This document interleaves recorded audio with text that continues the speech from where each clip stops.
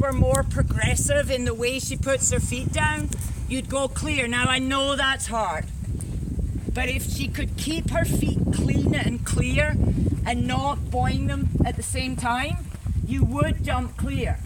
She just has to be a slightly more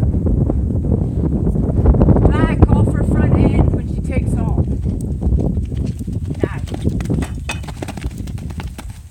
Good girl. Wow.